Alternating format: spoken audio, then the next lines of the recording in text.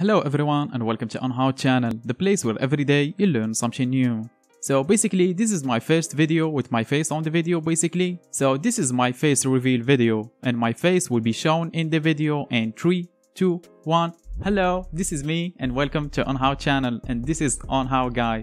So basically in this video I will show you how you can know the WordPress theme of any website. So if you saw a website and you want to make a similar website to it and if that website actually using WordPress, well there is a chance that they may have been using a public available theme that's a paid theme or free theme and you can use it to install it and make a similar website to it and that's exactly what I'm about to show you in this video. So without any more talking, let's get to it. For this demonstration, I don't have any WordPress theme to do demonstration on it, so I know a queries that we can use to search on Google search engine and show us only website that's using WordPress in a particular niche. So let's just do that and head over to Google search engine. I'm going to type in in URL, two dots and two quotation marks and between the quotation marks I will type in wp-content just like you see on the video right now.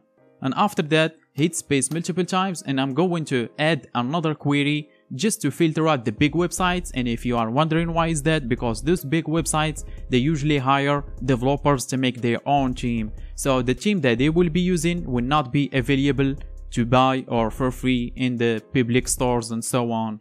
So by doing that we will filter out those kind of websites. So we're going to type in that query which is in text two dots and two quotation marks. And between the quotation marks we will type in a particular niche or a keyword. So for this demonstration i'm going to type in here for example anime. And let's just hit enter. And here is as you can see a bunch of websites here. Let's just go for this one here.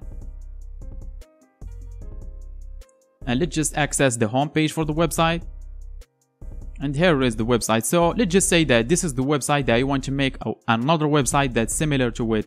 And to know if the website is actually using WordPress or not I'm going to simply right click on the page. And after that I will click on this view page source option right here. And after that it will open up this tab with a bunch of code on it. And no worries you will not look at the code or anything. I know it looks complicated simply hit Ctrl F if you are on Windows. I'm on a Mac. I'm going to click on Command F and it will show you this prompt at the top right corner of the browser right now. So just click on it and type in wp-content.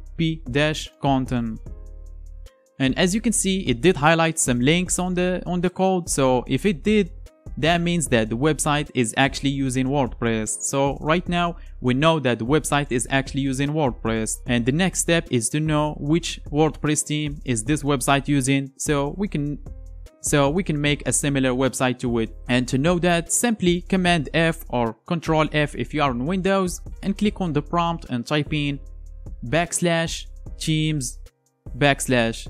And as you can see it did highlight again a link here. So let's just zoom in on it and as you can see, the link says wp-content backslash themes backslash and there is a name here. It says Jupiter X. So Jupiter X is basically the name of the WordPress theme that this website is using. So let's just check that right now. Let's just right click on it and copy and let's just access Google search engine and paste in the link here and let's just remove everything here and keep only the name for the theme and as you can see, once I did this, it's already showing me Jupiter X theme. So basically Google detected that you are, uh, I'm actually looking for a theme.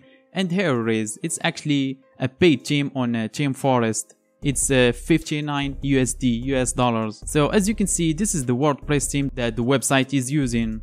It has multiple templates, so you will need to install it to figure out the exact template that this website is using here and as you can see it has many home pages here. So right now for sure we know that this theme is what the website is using and to make a similar website to it simply buy this one right here and install it and customize it to your liking. And that's how you figure out the theme of any WordPress website without using any tools or anything. And there is actually a lot of websites and online tools that can show you the theme of any WordPress website, but I prefer this way because you know how the URL structure works and you can do it by yourself without depending on any tools or any website. And if this video helped you out, help me out pressing that like button. And if you have any suggestions on future videos or anything, let me know in the comments. And thanks for watching and catch you on next one.